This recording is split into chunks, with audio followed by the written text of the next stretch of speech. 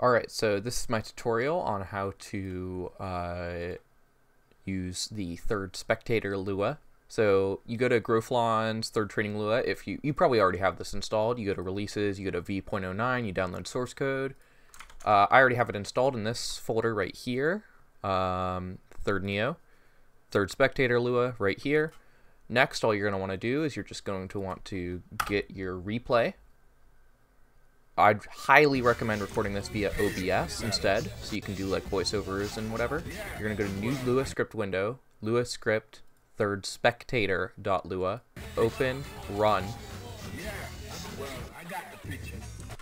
and you're gonna hit Alt 1, as you can see here, then Alt 4, that'll display the controllers, Alt 4, input history, hitboxes if you want them. I usually don't want them.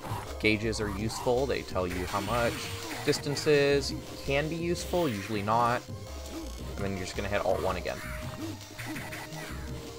And this allows you to, uh,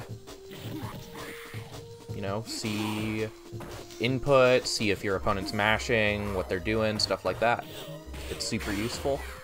Um, if you want to save it as a AVI for later review, you can hit record AVI. I usually pick uh, Microsoft Video 1. And there you go, now it's recording.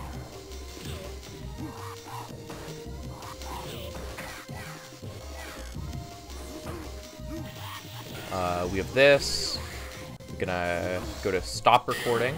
If you want to see the recording here, what you have to do is you have to close out of this. You're gonna go to your Fightcade folder.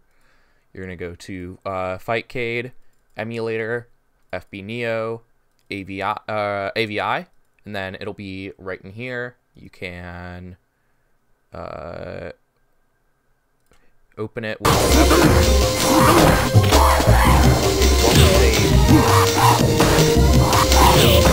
Lua overlay, sadly, but um, which is why I recommend recording with OBS, but it will save it as an AVI.